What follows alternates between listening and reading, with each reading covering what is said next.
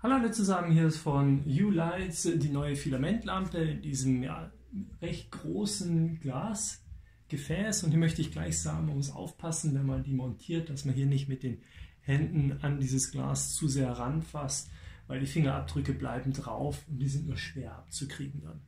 Ansonsten wird, ich mache das mal kurz über die App ein bisschen äh, dunkler, dann sieht man es vielleicht besser, das Licht ähm, von hier oben runter gestrahlt hier ähm, sozusagen an die Mitte von diesem Filament und das strahlt dann wieder so ein bisschen nach oben.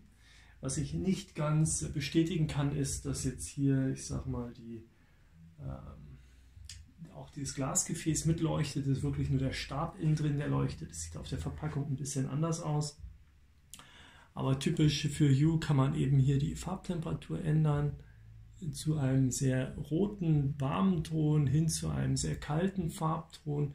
Ich habe hier jetzt 50%, kann das aber auch auf 100% hochschrauben und ich muss sagen, dieses helle weiße Licht, das reicht eigentlich aus, finde ich, jetzt so ein 20 Quadratmeter Zimmer zu beleuchten.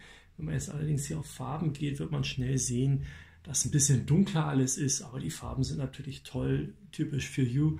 Ähm, haben wir hier was rotes, äh, grünes, können wir in den Blautonbereich gehen, äh, hier in den lilanen Bereich. Also alles ist möglich und man sieht schon, ähm, das wird hier also ähm, sauber beleuchtet. Gucken wir uns mal kurz den roten Bereich an.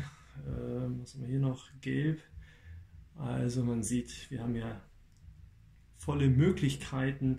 Wir können das natürlich auch mit anderen Leuchten zusammen verbinden und dann Szenen erstellen. Also ich mache jetzt mal so ein halbwegs neutrales weißes Licht wieder auf volle Stärke.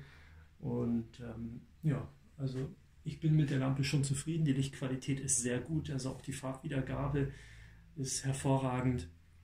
Und ich finde, dass die Lampe sogar einen Ticken heller wirkt als meine alte. Meine alte war 600 Lumen, die hat jetzt hier nur 500.